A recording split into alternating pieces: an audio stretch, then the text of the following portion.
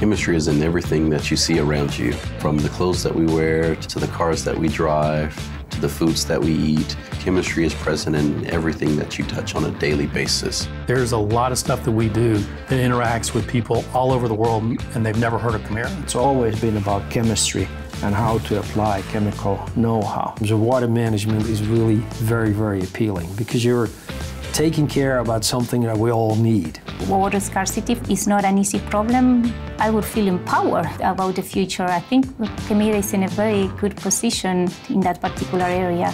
We cannot live without chemistry every day. The water we have drinked every day need to be purified. Se, että me voidaan mahdollistaa meidän asiakkaille, että he voivat käyttää heidän biomateriaaleja, olkoon se vaikka sitten sellu, mitä kaikkea siitä voidaan muutakin tehdä kuin sanomalehtipaperia. Different raw material sources, greener materials, alternatives to plastics, uh, looking for things that are more bio-based. Kirjoittaa paperille jotakin tai tilaa Amazonista paketin, niin siellähän se on se Kemiran kemikaali siellä pahvipaketin sisällä. Public demand is also playing into our customers' business and then therefore for us to solve and help the customers to do things even more sustainably. Tämä asiakkaan prosessia pitää ymmärtää, jotta voi auttaa asiakasta.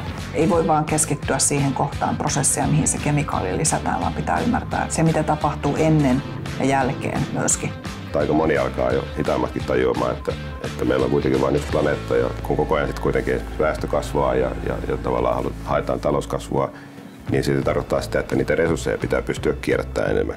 Ollaan ihan kiertotalouden ytimessä. Meidän tuotteilla ja ratkaisuilla pystytään todellakin säästämään energiaa, säästämään vettä, säästämään raaka-aineita. Että se on sellaista kestävää kehitystä eteenpäin vievää työtä isommassa merkityksessä.